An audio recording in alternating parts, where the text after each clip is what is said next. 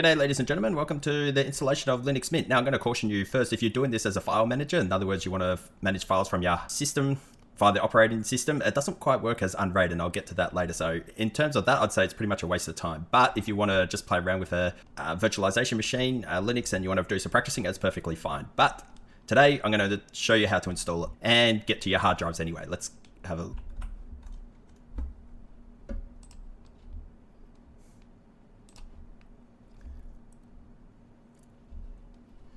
Okay, so the first thing you want to do is go to your storage and we're going to create another pool. And this is the last um, hard drive that we kept in reserve. So this is the 500 uh, gigabyte hard drive and its true space is actually 400. All right, let's go there. It's going to give you a bit of a warning because we've got no redundancy for this, but you can always do a snapshot save anyway. So we're going to just call this um, uh, Linux Mint, but for this time it's not a test. So I'm taking you along for the real thing here. Beautiful. All right. Uh -huh. Oh, if we just have a quick look at that, see, it's got no, but we probably already knew that anyway. All right, confirm, boom.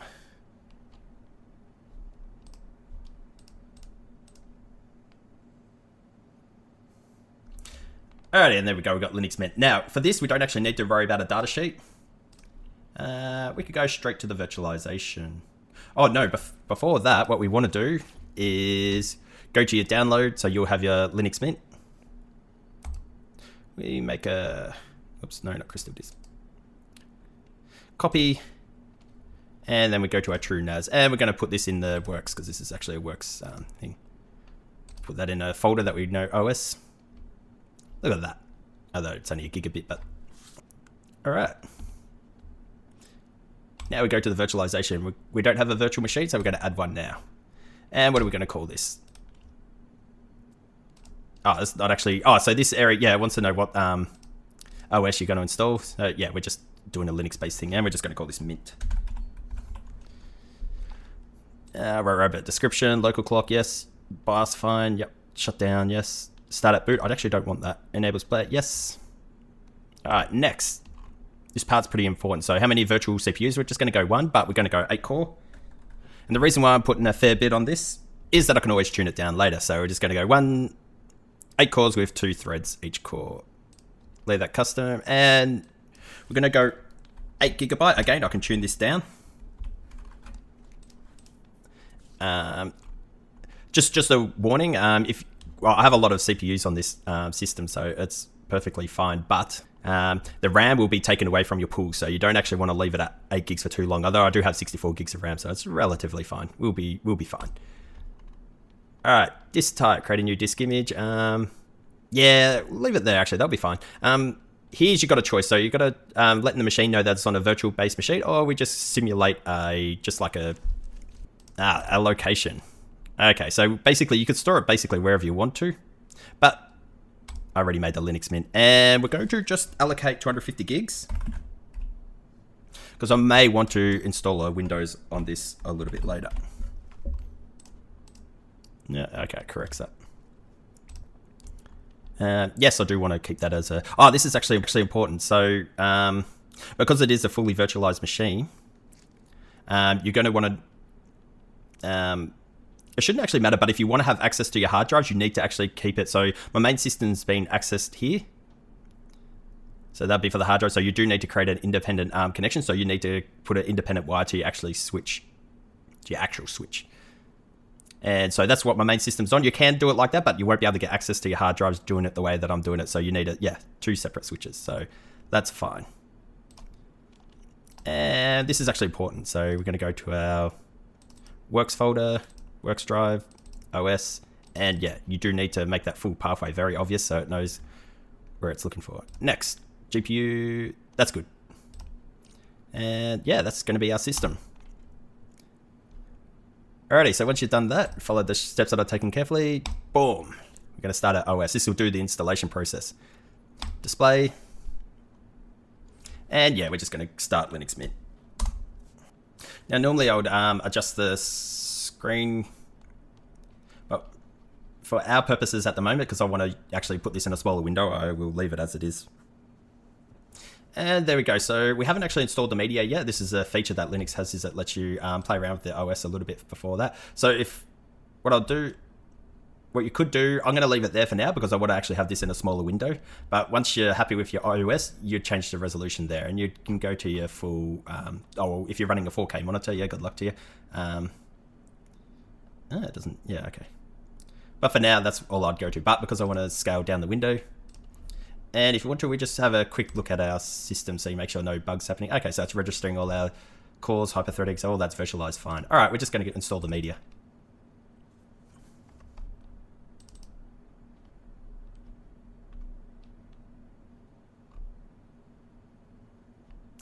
Ah, there we go. English Australia. Right, thank you. Install media. Yeah, I guess. I've got plenty of space on the hard drive. Yes, so if you have anything on the disk, yep, you won't be seeing it again. Yep, we know what we're doing. Melbourne. Yes, I am actually in Melbourne. Where the docs and stuff though. That's all you guys getting. My name, John Smith. And we're going to call this uh, uh, probably just Pro Smith.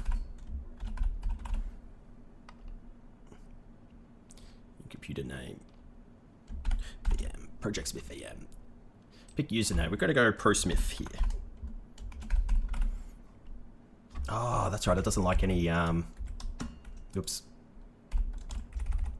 Any capital letters, yeah, I think. All right.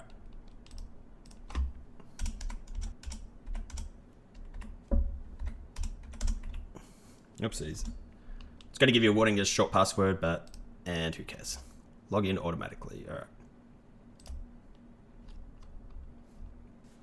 This will actually take a while. All right, now that we've done this, it'll let you continue testing, but we're not going to do that, and we're not going to restart. What we're going to do is fully shut down and quit, shut down. All right, and fantastic. Now what we're going to do to our virtualization, so once we've done the installation, we're going to have to modify it. And the reason why we do that is because we don't want to install it again. So we're just going to go to modify. This is the, so this is basically our installation pathway and they call it CD-ROM here. We're just going to go simply uh, delete, delete device. Okay, now that we've got our, this is actually us starting the operating system for the first time. And we're going to go hit display. That'll give us our remote. And we're booting into it uh, letting us know that we're connected to the internet. First steps. Um, well, if you're running a GPU, you'd want to go to Driver Manager. But for us, um, what I'd recommend before doing anything is just update it, see if there's any updates. Uh, really? Okay.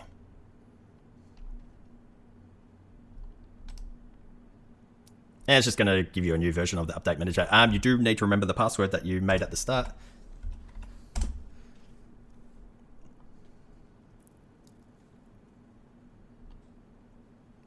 Oh, wow. And that just goes, yeah, anyway. Install that, that'll take some time, but once you, yep. And it's to ask you a password again. Oh man, do any of you guys remember the good old Vista days? That was a great operating system. Now, of course, people out there had a potato, so mix that plus with Apple marketing, and you'd believe that it was the worst operating system ever. But unironically, yes, I'd actually say that um, Vista was actually probably one of my favorites. Firefox, not a big fan of that browser, but anyway. If you want to, you can feel free to install um, Microsoft Edge. It works on Linux, so that's basically one of the things that I like to do. Uh, welcome. Yeah, we don't need that. Microsoft Edge. I probably should have gone to download. Download Edge. And there we go, and you can install it on your Linux. Actually, good operating, uh, good browser for Linux. Uh, we won't be doing that on the virtual machine, though. I do have it on my um, normal machine. All right, we're just going to do a reboot now. All right.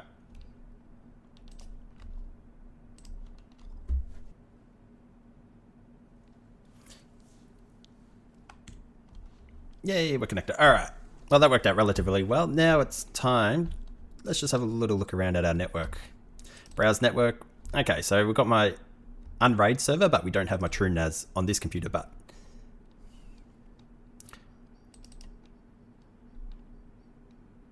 I think I'll just call myself John here.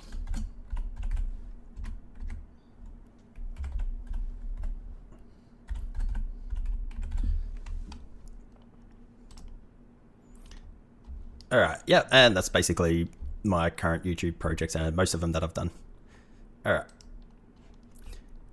Now, as you see, we didn't have our access to our um, to the actual TrueNAS, so we're going to go going to connect manually to server. Windows Share, and we're going to. This will be blurred out, but you're going to type your address. Alrighty, just so we're clear, um, the address that you type in is the set of numbers that you use to access your dashboard via internet browser. So whichever one you use, it's the set of numbers. So you'd use the same ones in here, and this will also be blurred out. So I don't know how much value. And our domain name, uh, let's let's go through the steps of making sure that we get this right. So, well, this this is why I didn't want to expand the window. Although you can easily do that, you go to display, but this is just so I can operate the OS from a smaller screen. And what is our name? TrueNAS, host name, TrueNAS. So that's where we're getting that from.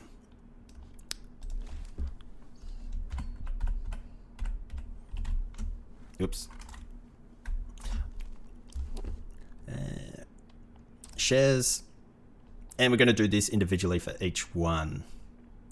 So for a share, we're just going to type in, um,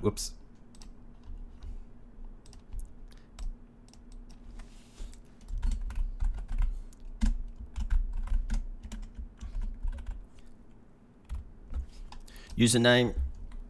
We already established that in the other video.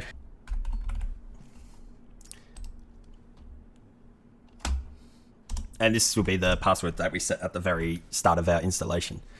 So, um,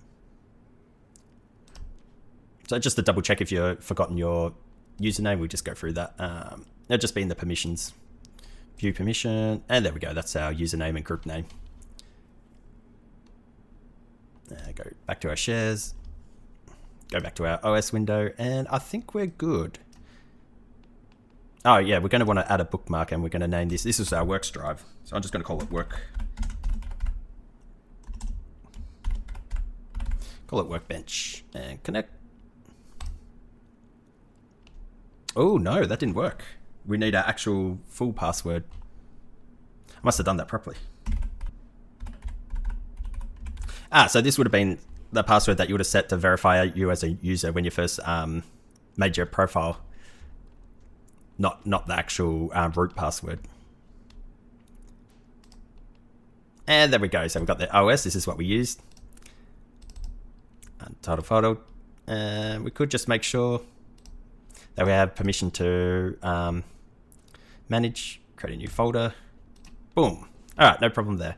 All right, to get access to your mass storage, that's just simple as repeating the process again. Connect to the server, Windows share, type in your address, which will be blurred out in this video, but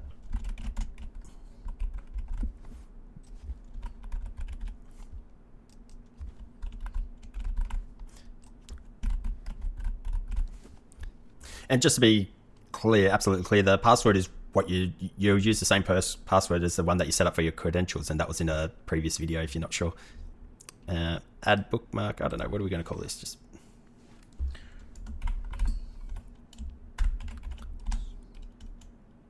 that's gonna. I want to say mass storage.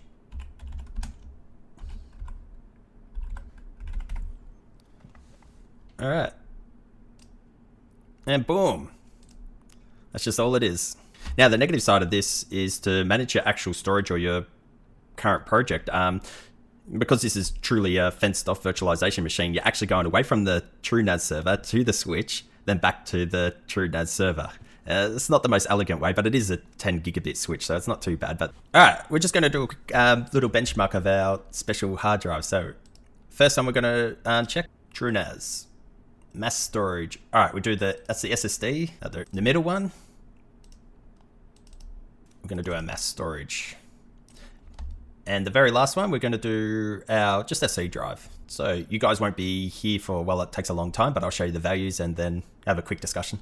Alrighty, now that we skip past through this, so remember this is the SSD workspace. This is the mechanical hard drive, and it's only six um, mechanical hard drives. And this is just a well, this is just the result of um, having a very large um, RAM cache pool for the hard drive. So this is why the performance is quite high for mechanical hard drives. And this is just the M.2 drive that I have connected to my current system. So you can see just the difference.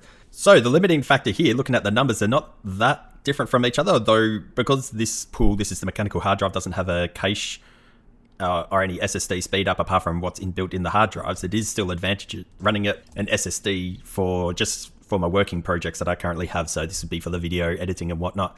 But as we can conclude here, the numbers aren't that dissimilar from each other. So the conclusion here is, uh, yeah, my limiting factor is actually the 10 gigabit network. Okay, that basically concludes our installation. Um, yeah, it's just a bit of a shame about the drawback. Um, I will give you a video at the end just showing you what is actually going on and why it actually drives me nuts. Man, if you've seen my video talking about a North Bridge and South Bridge, then the CPU, oh, this, this will, you're going to love the outro to this. But so that basically concludes that. I'm very happy with the way the video went. So if you like the video, please like, and if you want to see more content like this, um, please subscribe and Project Smith Tech signing out. Thank you very much. Peace.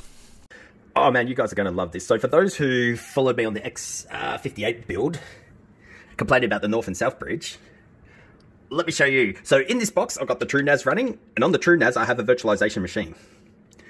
Now, if we go to my 10 gigabit uh, RJ45 port, you see that I've got, I'm actually currently running dual band. This one's going to my uh, TrueNAS, and this one's actually operating as the virtualization machine. Now, for me to manage the hard drives in the same box on the virtualization machine, I have to go from here to my 10 gig network port, back here, to the TrueNAS. Yeah, definitely not ideal. Now, Wendell did have a video up. I'm going to share a link um, how you could do it better than the way I did it, but I thought I'd share this anyway. Peace.